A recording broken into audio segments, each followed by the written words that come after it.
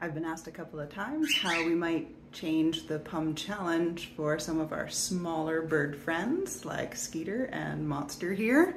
So I have a skewer with a pumpkin that's cut up a little bit more and some extra millet in between. So we're gonna give that to these guys and we're gonna see how they do. You ready? Take one of the smallest pumpkins. This is a gourd from the farmer's market. And we cut it in half so that we've got more surface area to put in the treats. Use a stainless steel skewer and we stab it right through the middle. I also cut some larger notches so we have more places to hide millet in this pumpkin. It's now ready to be hung in the cage.